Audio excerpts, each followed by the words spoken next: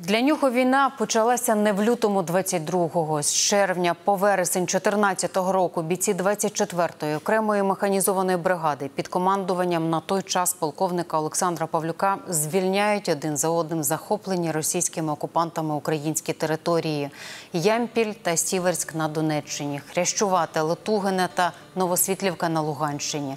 А 22 липня 14-го року підрозділи 24-ї механізованої бригади підійшли до Лисичанська. Надскладна воєнна операція тривала дві довгих доби. Доводилося проривати добре облаштовану оборону та блокпости, опорники і численна жива сила противника була знищена ударами одразу з декількох напрямків. На Луганщині почали майоріти українські прапори, а російські війська та угруповання найманців відступили до самого Луганська.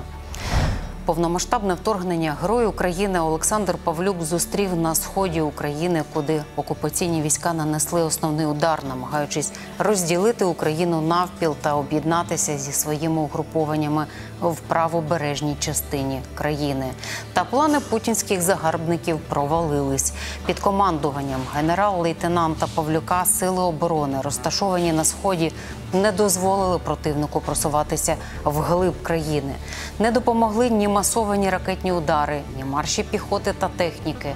Велике вторгнення, яке планувалося як бліцкриг, нині обходиться окупантам сотнями життів їхніх солдат щоденно.